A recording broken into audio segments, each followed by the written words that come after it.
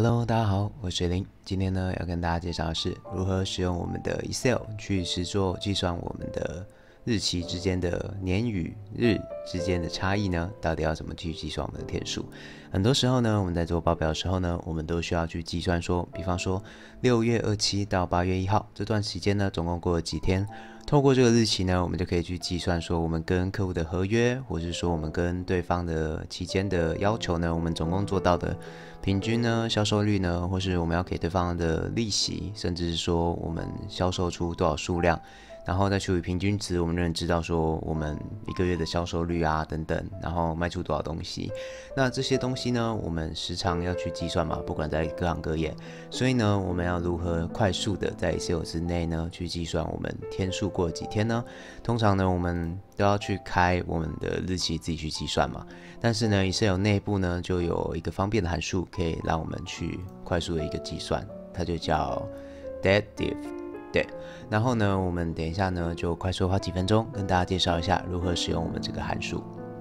首先呢，我们先来示范一下如何计算我们的天。所以呢，我们就在一边打一个等于，然后一样，我们就打上我们的 day。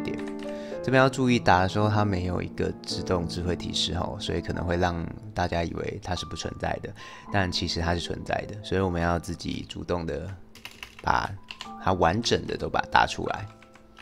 然后夸弧，这时候我们要打什么呢？在这边我们看到它的介绍哈，它的介绍里面就有一个 start date 跟一个 end date，还有一个 unit，就是开始日期、结束日期，还有要计算的单位。那我们先打一个开始日期，我们就把我们这边打了一个范例带上去哈，二零一六零六二七就是六月二十七，二零一六年。然后呢，我们按逗号再打一个结束日期。这时候呢，第三个我们要带入单位，那它下面呢就会跟你说，哎，单位有什么？比方说单位有 Y 的话，就是它这边就有写嘛。他说这个单位它是做什么？The type of information that you want returned where？然后下面就会写这个单位每一个代表意义。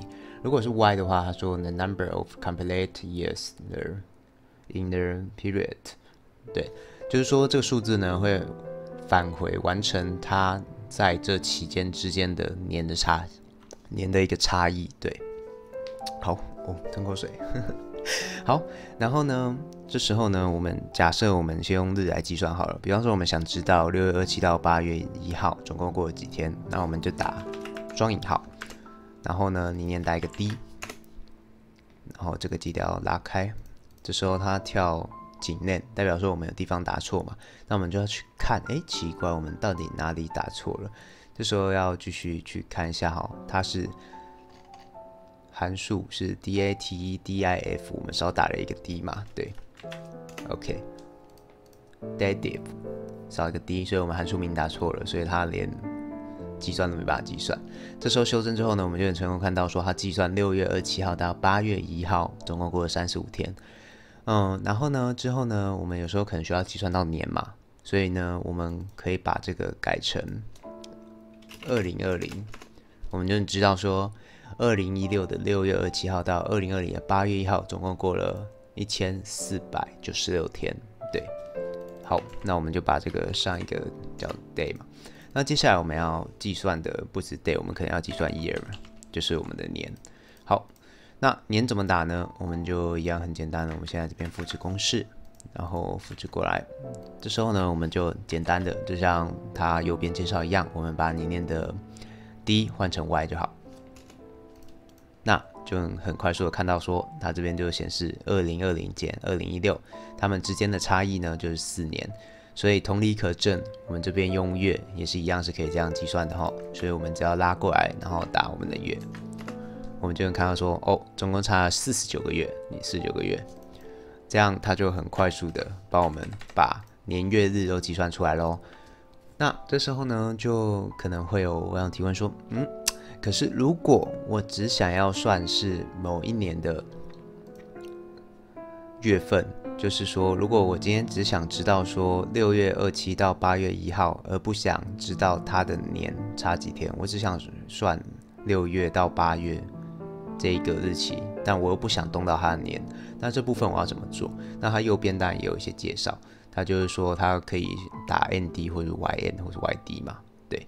所以呢，这时候呢，我们就可以根据他的介绍去，他就会说，哎，比方说我打 YD，那这个年呢，他就会忽略，他就会忽略，那他就只算日嘛。所以呢，我们来试试看哦。我们这边打 YD，然后看一下，OK，我们就能看到说，同样是二零二零的八月一号减二零一六的六月二七号，那它就会忽略这个年的天数，它只计算。八月一号到六月二七之间的差异的一个天数，所以一样是三十五天，一样是三十五天，我们就可以用右边这些方法呢，去很快速的计算出忽略年，然后只计算月，或是呢，我们也可以忽略其他的，忽略的天跟年嘛，然后去计算月或是日等等。好，那这边我就拿到我的日嘛，所以这其实它也是 day，不过差别的是说呢。同样是 day，那我这个可以计算全部的天数嘛？可以计算所有年的年月日里面的一千四百九十二天。但是呢，这边我就可以单纯取得，我只要计算它的月到日这样。